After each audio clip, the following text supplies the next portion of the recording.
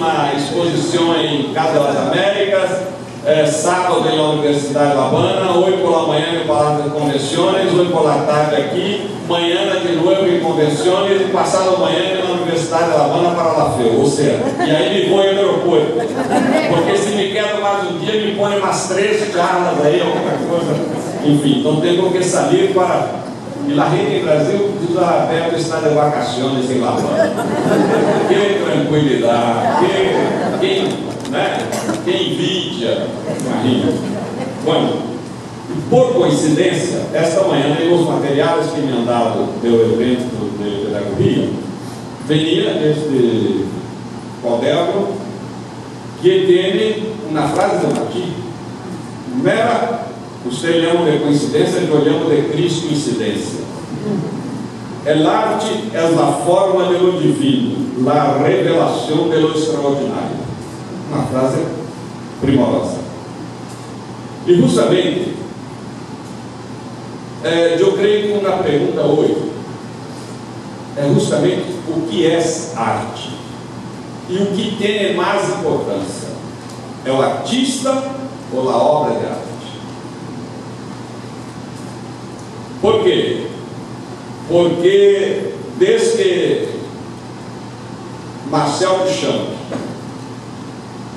ha exposto em uma galeria de arte um vaso sanitário, como a tantos outros que ela teria sofrido, é o problema em pessoa. Eu não tenho nada contra Lady Gaga e tantos outros. Não me gusta. Cada um tem o seu uso. Mas sempre quero na pergunta.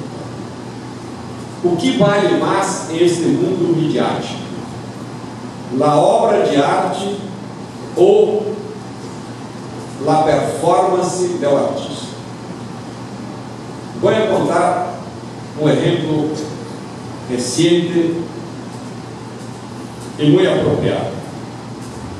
Rembrandt, que aliás está numa hermosa novela de Padura, Heréticos, Rembrandt hizo vários autorretratos. E cada vez que esses autorretratos saem de Holanda para alguma exposição, aí está sendo seguro. E havia uma dessas telas, desses quadros, que teria um seguro de 400 mil dólares. Para o governo de Holanda, com um grupo de especialistas, ha decidido fazer uma investigação de que obras são realmente de Rembrandt e que obras são de seus discípulos. Havia todavia essa discussão seguinte. Pero a comissão chegou à conclusão que este, entre tantos autorretratos, não é de Rembrandt, é de seus discípulos. E o seguro barrou para 40 mil dólares. E é possível. Então, uno se queda perguntando: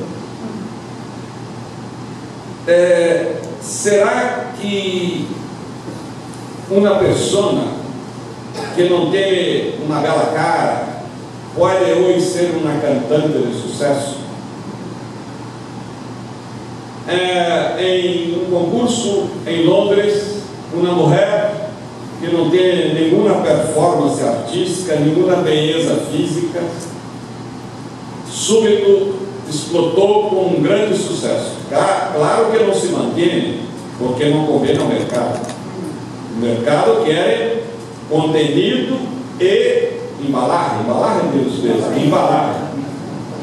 E é aí que quero ligar sobre os retos que se apresentam hoje ao mundo da arte. Vamos ligar por aí. Vocês sabem que nós outros estamos vivendo um momento que nossos abuelos não han vivido. Que é um câmbio de época.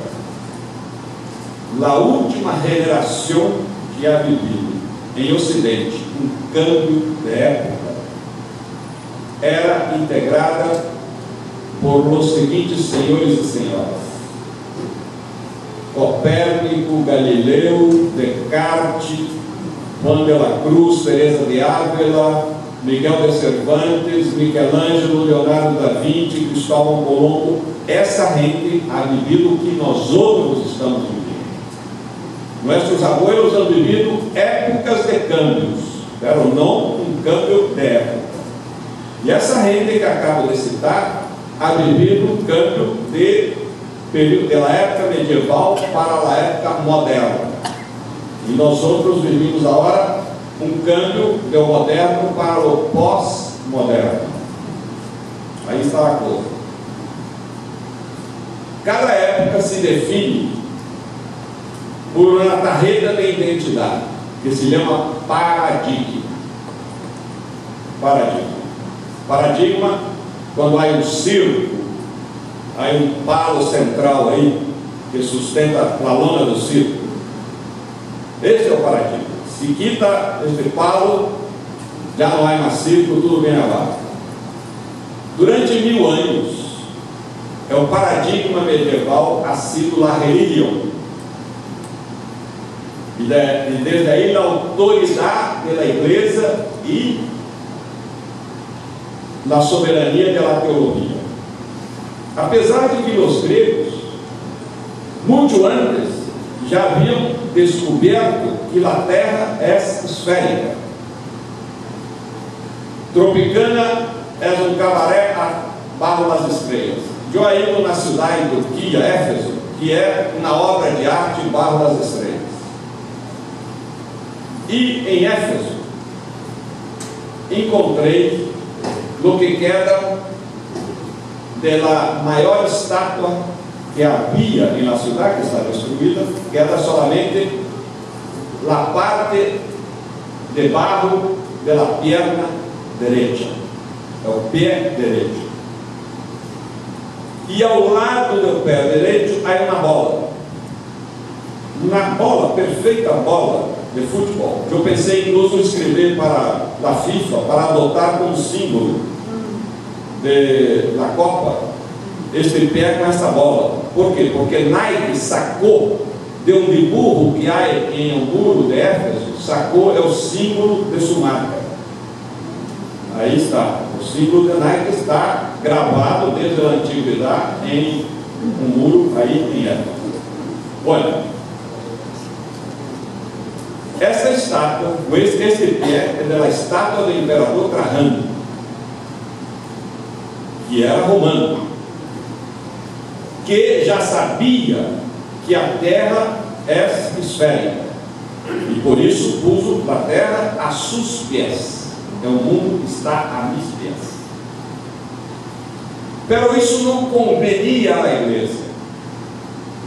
Não convenia, porque depois o, o seguinte passou de perseguida a soberana em um império romano. Pero na igreja a sorte de encontrar alguém muito adequado à sua concepção cosmológica. Ptolomeu, que é grego, que é egípcio, e Ptolomeu, que é o ciclo seguinte a Trajano, dizia que a Terra é plana e ocupa o centro do universo. Claro, dizia a igreja, se Deus se encarnou em na terra, em Jesus, não ia se encarnar em um planetita periférico perdido aí, em um mundo cosmológico. Teria que ser um, né, um planeta central, que equivocadamente, por razões antrópicas, chamamos de Terra. Meus amigos extraterrestres chamam de água, planeta água, porque quando eles viram de fora, miram muito mais água do que terra, pero como nós outros miramos mais terra do que água, então chamamos, bautizamos de terra. Muito bem. O que passa? É, vai, essa ideia de centralidade, influi profundamente na obra de arte. Vocês jamais vão encontrar em toda a pintura do medievo, da Idade Média, um close em uma pessoa comum. Os retratos são sempre de gente muito importante. Nobres, cardinais, papas, e todos com uma forte ambientação. Ou interna, por exemplo, das meninas, las niñas de Velázquez, ou externa. Aí você tem um montão de pintores, como Bosch, por exemplo, né, que hace toda aquela revolução pictórica, pero há uma ambientação em la natureza. Quando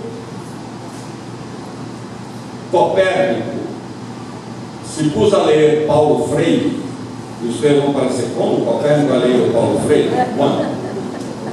Possivelmente a leído porque Paulo Freire ensina um princípio epistemológico indiscutível. La cabeça pensa aí onde os pés pisam. Se tu vive em La Habana, tu pensa de uma maneira. Amanhã vai viver em Miami, vai pensar de outra maneira. Quando um cambia de lugar social, cambia também de lugar epistemológico.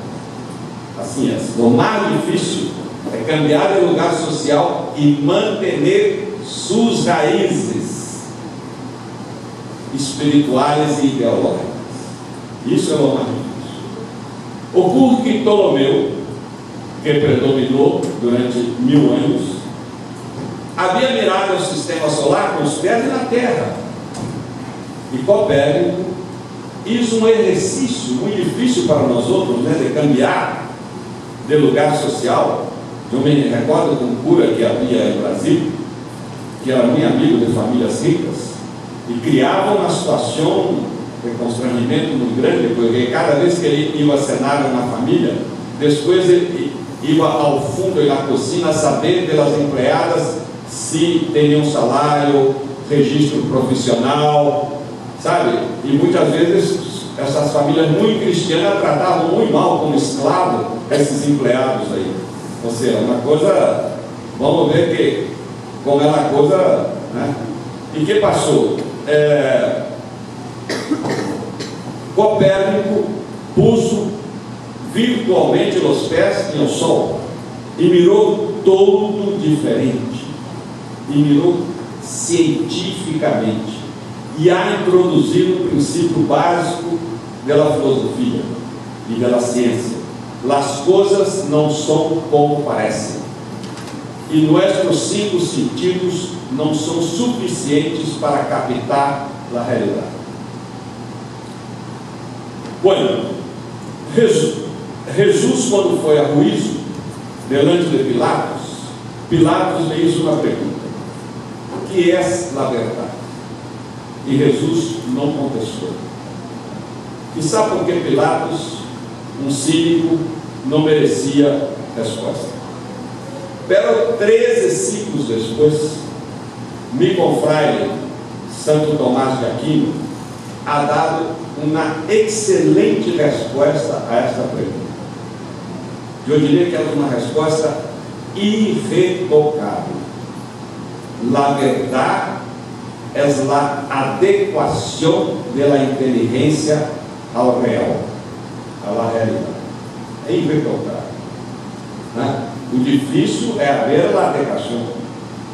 E, e Tomás de Aquino diz outra coisa muito interessante, que a razão é uma imperfeição da inteligência. Quanta gente que é iletrada, mas é sumamente